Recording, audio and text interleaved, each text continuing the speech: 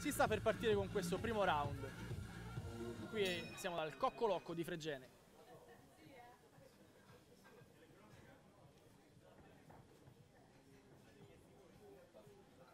Parte a testa bassa in zinna, con serie a due mani.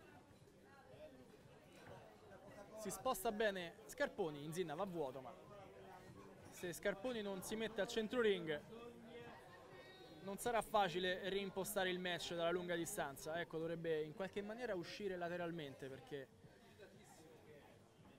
eh, andare semplicemente indietro non basta. Non basta mettersi diciamo, nella posizione giusta per poter replicare perché Inzinna sta veramente andando avanti a testa bassa, non,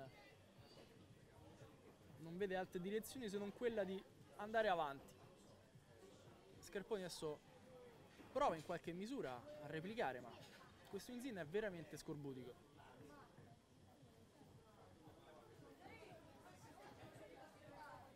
Bello adesso il destro di Scarponi che arriva a segno, ancora combinazioni dalla lunga distanza per Scarponi che comunque sia sta in questa fase soffrendo un pochino questa iniziativa di Inzinna.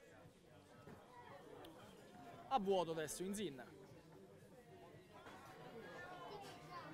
a segno invece Scarponi con un bel diretto destro.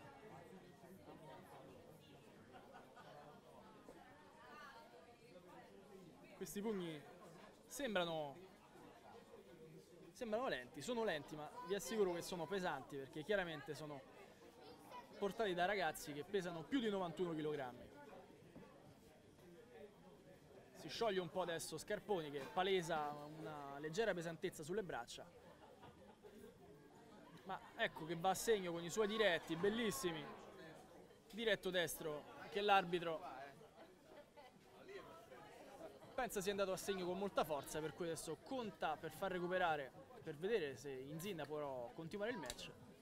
Il match continua.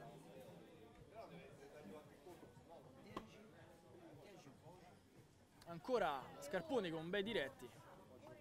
A vuoto Inzinna che comunque sia continua ad andare avanti nella speranza di di cogliere il suo avversario, in effetti con qualche colpo sta andando a segno, ma secondo me i colpi migliori sono quelli di Scarponi e infatti anche l'arbitro richiama Inzinna a una maggiore compostezza. Faccio un video, ma non preoccuparti, eh. Posso? Certo, certo. Vai, vai, tranquillo. Poi ci stanno facendo il video Siamo al video. in collegamento là insieme a tutto lo staff della box di Coccolocco. Che facciamo? Una diretta, una diretta nella No, diretta? eh, dopo la, la diretta la facciamo dopo io. No? Scusate ragazzi, abbiamo... Ecco adesso che Scarponi porta a segno un bellissimo, un bellissimo colpo che... Un altro destro. Scarponi ha trovato questo... la strada per il destro che comunque aveva detto che avrebbe combattuto questa volta e poi basta. Vediamo se... se con questa vittoria così veloce non gli sia tornata in realtà la voglia di fare altri match. Ma... E siamo pronti per il verdetto. Vediamo il verdetto. Vince! Aibu vince per RSC alla prima ripresa. Vince L'angolo blu, Matteo Cascius, Per RSC. Scarponi!